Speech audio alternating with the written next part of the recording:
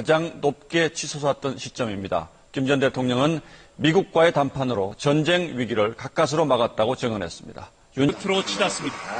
여기서 소울이 멀지 않습니다. 전쟁이 일어나면은 불바다가 되고 말아요. 아니 지금 성 선생도 아마 살아나기 어려울 게예요. 아니 가만 그걸 말이라고 합니까?